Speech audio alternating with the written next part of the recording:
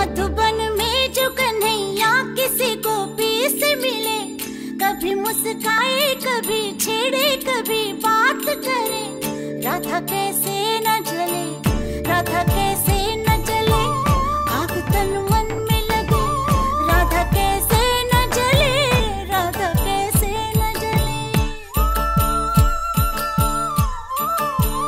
मधुबन में भले कान्हा किसी को पी से मिले, मन में तो राधा के ही प्रेम के हैं फूल खिले, किस लिए राधा जले?